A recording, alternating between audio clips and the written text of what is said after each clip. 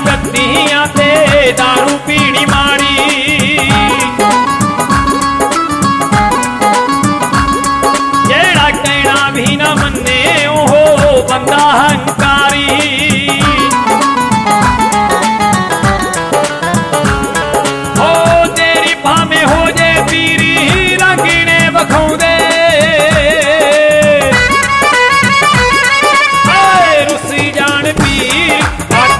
I've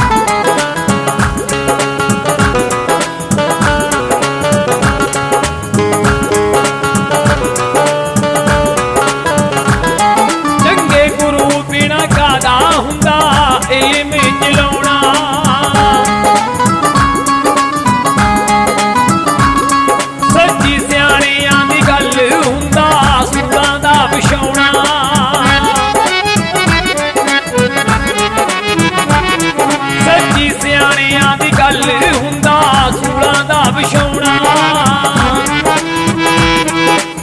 ਪਾਣੀ ਪਾਣੀ ਬੰਦੇ ਘਰ ਹੀ ਪੱਟ ਕੇ ਵਗਾਉਂਦੇ।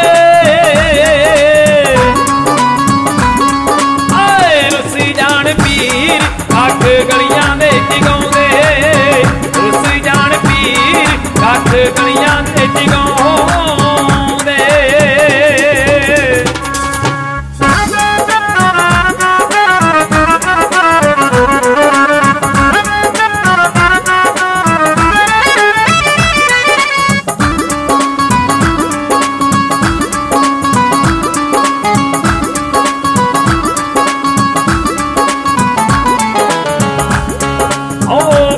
ਗਿਆ ਚੇਲਾ ਤੇਰੀ ਹੋ ਗਈ ਸ਼ਾਵਾ ਸ਼ਾਵਾ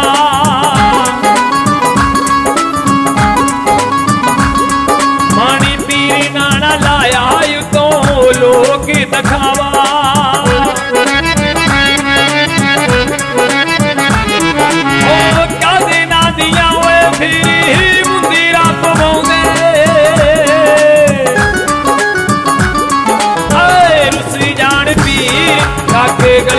ਜਗਾਉਂਦੇ ਰੁੱਸੀ ਜਾਣ ਪੀਰ ਕਾਕੇ ਗਲੀਆਂ ਦੇ ਜਗਾਉਂਦੇ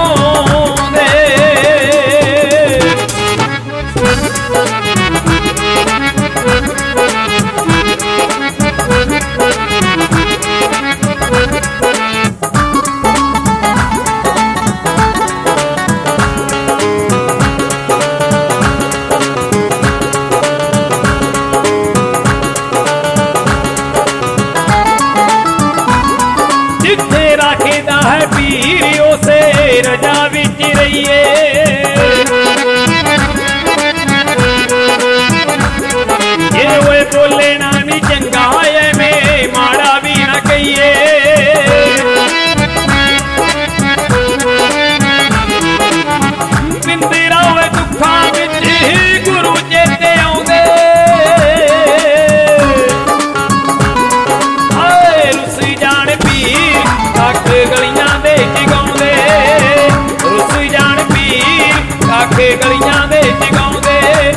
ਆਖੇ ਗਲੀਆਂ ਦੇ ਜਗਾਉਂਦੇ ਆਖੇ ਗਲੀਆਂ ਦੇ ਜਗਾਉਂਦੇ